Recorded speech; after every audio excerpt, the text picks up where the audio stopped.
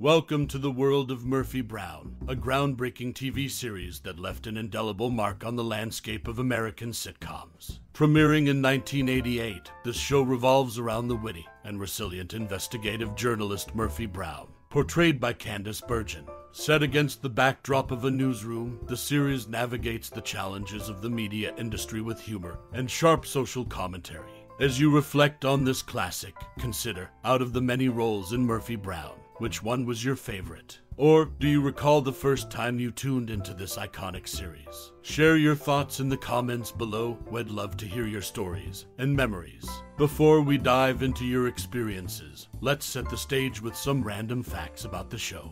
Did you know that Murphy Brown earned critical acclaim for its portrayal of a strong, independent female lead in a professional setting? Candice Bergen's impeccable performance won her multiple Emmy Awards, and the show itself became a cultural touchstone during its 10 season run. Now, over to you. What's your most cherished memory or personal experience related to Murphy Brown? Feel free to share in the comments below. Your stories add to the rich tapestry of this beloved series, and we can't wait to hear them. Stay tuned for more insights into the world of TV classics, and remember to share your thoughts and memories. After all, the best stories are the ones we share. In Season 4, Episode 26, Birth 101, Murphy Brown broke ground by depicting its titular character, played by Candice Bergen, giving birth as an unmarried woman. This move ignited controversy when Vice President Dan Quayle criticized the show during a televised debate, accusing it of promoting single motherhood and undermining family value as a hot button issue in the 1988 election.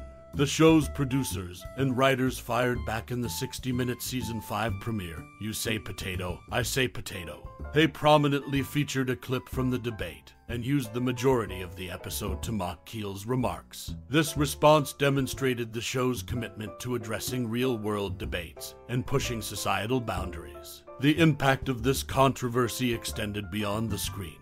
It underscored the series' ability to confront societal issues head on and reflected its commitment to addressing contemporary topics. The clash with Quayle brought attention to the show and solidified its place in the cultural conversation of the time. Moreover, the series showcased its crossover appeal when Candice Bergen and the Murphy Brown set made a guest appearance on Seinfeld in Season 3, Episode 23, titled The Keys. The reciprocity was evident when Jerry Seinfeld and Larry David appeared as themselves on Murphy Brown's creator Diane English's other sitcom, Love and War. This exchange of appearances reinforced the interconnectedness of popular television shows during that era.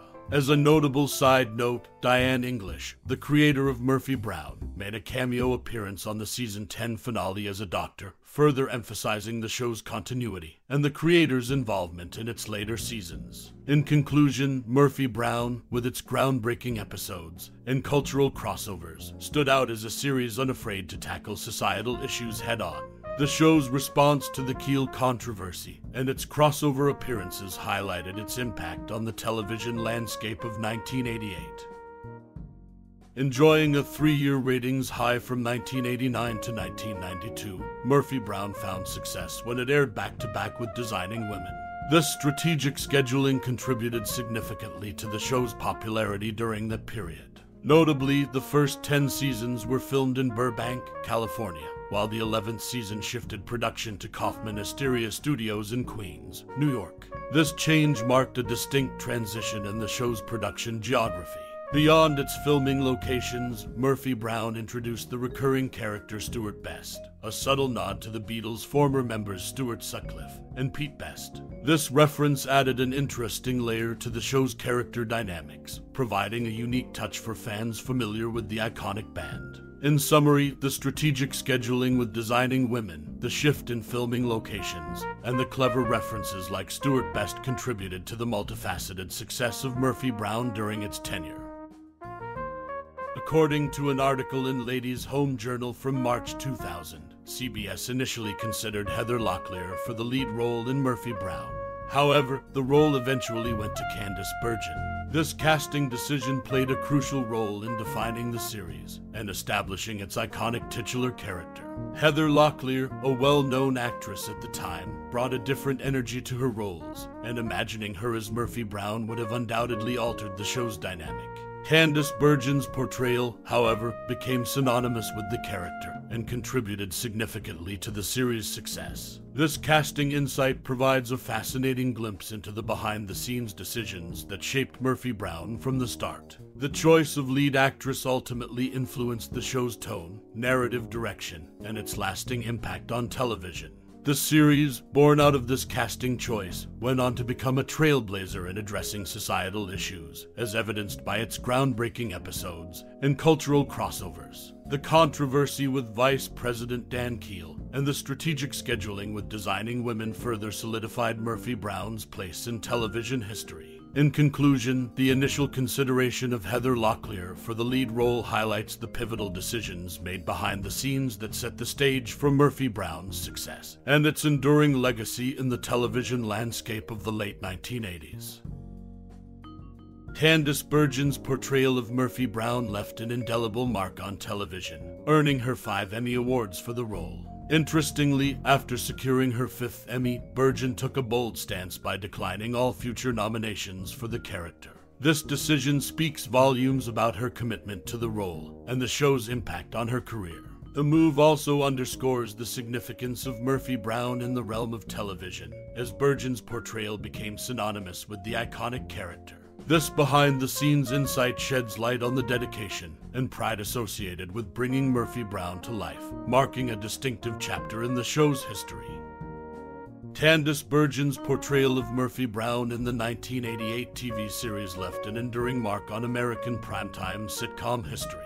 Notably, it became the longest running American primetime sitcom, holding this distinction until its 10th season finale on May 18, 1998. This achievement solidified Murphy Brown's impact on television, surpassing even popular shows like Married. With children, the series retained its status until Family Matters took over. In a candid interview on Watch What Happens Live with Andy Cohen, Candice Bergen shared a surprising detail about her past. She admitted to dating Donald Trump when he was younger, describing him as a handsome douchebag. This personal revelation adds an intriguing layer to Bergen's connection with the cultural and political landscape during the show's run.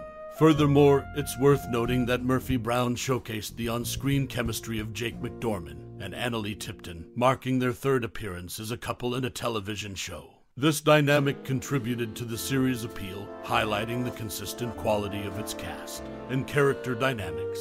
These lesser known facts provide additional dimensions to the narrative of Murphy Brown beyond its groundbreaking episodes and cultural crossovers. From its record setting run to the personal anecdotes of its lead actress and the recurring on screen partnerships, Murphy Brown remains a significant and multifaceted part of television history. As we bid adieu to the time capsule that is the 1988 TV series Murphy Brown, let's take a moment to stroll down memory lane, where laughter echoed through the newsroom, and candor was the language of choice. Murphy Brown wasn't just a show, it was a mirror reflecting the quirks and charms of an era, leaving an indelible mark on the hearts of its viewers. Now, I invite you to dust off the nostalgia and unravel your personal connection with this timeless gem. What resonated with you? Was it the razor sharp wit of Murphy, the unapologetic pursuit of truth, or perhaps the camaraderie that felt like a warm embrace every episode? Whatever it may be, your memories are the threads that weave the fabric of Murphy Brown's legacy. Share your reflections, your laughter infused anecdotes, and the moments that nestled into the cozy corners of your heart. Let's create a collective scrapbook of memories, a celebration of a show that not only entertained but connected us across time and space. Your thoughts are the missing pieces of this puzzle, and together we can complete the picture of what made Murphy Brown a cherished part of your TV history. Drop your comments below, let the keyboard be your canvas, and paint us a vibrant picture of your Murphy Brown experience. Thank you for embarking on this nostalgic journey with me. Your time and sentiments are the glue that binds us in this shared appreciation. Until our next stroll down memory lane, remember, every story is a brushstroke in the masterpiece of life. Reflect, share, and relive the magic.